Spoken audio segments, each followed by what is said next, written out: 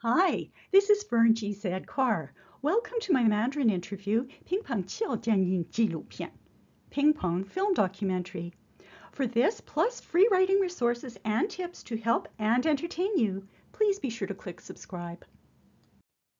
Kelowna's premiere showing of the Mandarin movie Ping Pong The Triumph featured the story of the rise to success of China's national men's table tennis team in the early 1990s.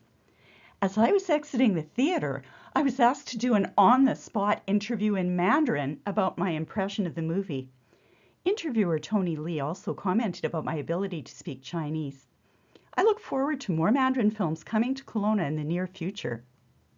啊，这个电影非常棒，我我非常喜欢啊这个电影。啊啊，我的老师，安娜是我的老师，他是啊最最好老师，最好非常喜欢。欢迎你再来看呃下一部中国电影，《流浪地球二》。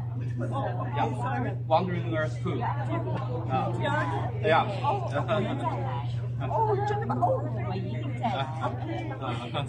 谢谢谢谢你们，谢谢。哦，好，先生。对。好。